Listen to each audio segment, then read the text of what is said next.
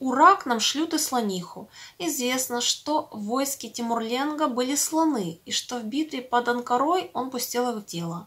Одного из этих слонов отправили на кормление в деревню, где жил Хаджа. Слон дочества истребил все пассивы, какие были в деревне. Тогда крестьяне, предводимые Хаджой, пошли жаловаться Тимурленгу. Однако из страха перед тираном сперва один, потом другой подстали, и когда Хаджа должен был идти к Тимурленгу, он увидел, что около него никого больше нет. «Ах вы трусы!» – подумал Хаджа. «Ну уж я вам покажу, как меня обманывать». Тимурленг спросил у него, зачем он пожаловал, и Хаджа объяснил.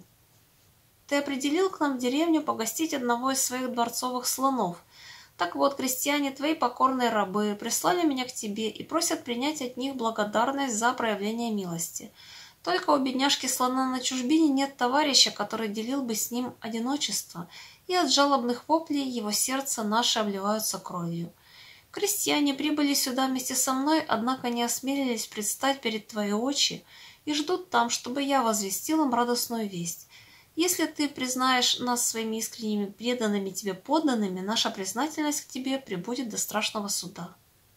Тимурленко очень обрадовался, пожаловал Хадже халат и осыпал его милостями и дарами, а крестьянам послал одну только благодарность на словах и немедленно повелел Тимурленг, чтобы в деревню Хаджи отправлена была еще самка слона.